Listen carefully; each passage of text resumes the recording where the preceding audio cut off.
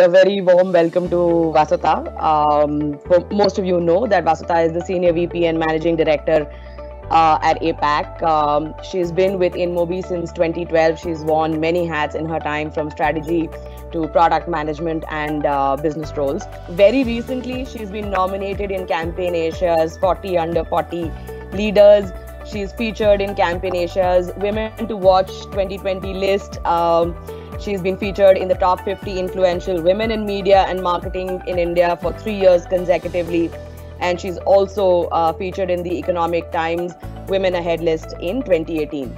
Uh, our conversation with Vasuta to understand her journey towards becoming a successful leader. So, Vasuta, first question for you. You've been with InMobi almost for a decade now. Can you share a few uh, cherished memories with us? I had a very non-traditional move. I moved from uh, McKinsey from the consulting side to InMobi back in 2012 in the very early days um, and um, actually joined uh, the founder staff team. So it was, uh, you know, I would say a fun ride for almost, you know, the six to nine months I was part of that road. Uh, I think we were going at breakneck speed. So everything seemed like, you know, we were charting new paths uh, at that time. I think from there, I actually did a short stint in product. I don't know, many people may not know. I was the first uh, geo targeting product manager, uh, you know, uh, in the early days. Um, and then from product, I actually did Stratenops for a while. So I moved to Stratenops for about six months. Then I think when I took the India role, that one year, uh, you know, with the India team, and that time was quite crazy. I was settling into a new role. I had never done a P&L role. I had never done sales um, I had never even been like you know in, in a lot of external client facing meetings. Um, so again, I think I'm calling out the you know periods which were really probably crazy and hard, but I think you tend to remember that when you've been here 10 years. So yeah, overall, I think uh, it's it's been really fun here.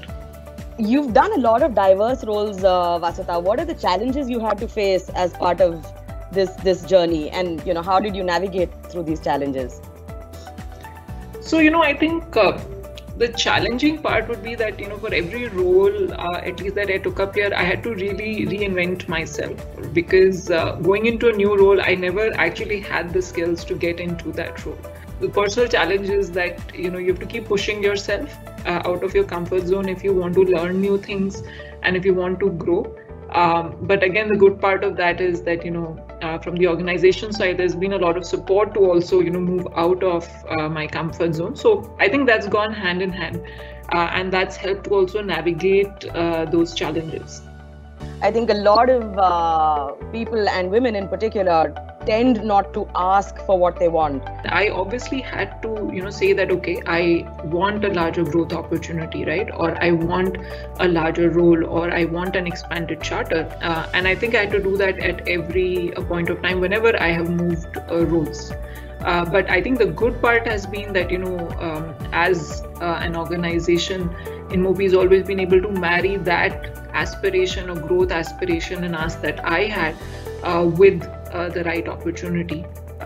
Did you uh, face any unconscious biases at the workplace? Did you have to work through any of those? When you step outside, right, uh, especially uh, I think in India in the media industry, right, there is a bit of uh, a boys' club, so to say, right, especially mm-hmm. when it comes to the older circles of uh, media folks, whether it's the agency or you know on the even the client side. And I think that used to trouble me in the early days of my India role because I used to be like, how am I going to break into this? Then I sort of you know um, accepted the fact that you don't need to undo everything on your own right um, you can have folks in the team who have complementary strengths uh, and skills to yours. I'm really happy that over the at least you know three four years i spent in the india role i was able to form a lot of connects on the external and client side which you know are now just you know informal acquaintances.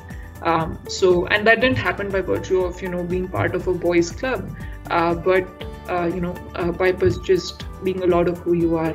You don't necessarily have to you know go by the biases that exist i'm curious did your age ever sort of play on your mind or was that ever you know expressed as a as a bit of a See, no one expresses it, right? No one expresses it uh, because, anyways, people are wary of asking women about their age. so nobody expresses it, but I know it uh, exists, right? Uh, it's okay as as long as you know. I think you bring value to the whole thing. It's fine. But yes, age age is you know also uh, a challenge sometimes uh, when you again i mean media industry typically people are very very tenured uh, right uh, especially at the exec and senior levels what is your advice to the young women out there who you know how should they go about getting their seat at the table I think when you're young and just starting out in your career, there's a lot of hesitation, uncertainty, even, you know, you're not sure about what your strengths are. For young women is that you really have to you know take that bet on yourself that you know you're good at something. That's why you know you're you're where you are. So you have to be your big your own biggest cheerleader. I think as women we're not good at doing that, right? We're always doubting ourselves. So find a few good mentors in the early years. Um, I think that's really important as well. What motivates you? Because I have never met a leader who comes back to the drawing board on a daily basis with so much enthusiasm and discipline and rigor. So what keeps you going? And you know, how is it that you know you find the energy and um, the sheer drive to you know just focus on not just the work itself you know the work is one part of it but also to focus on people on on building stakeholder relationships allies and all of the things that we spoke about. See sleeping early helps a lot right?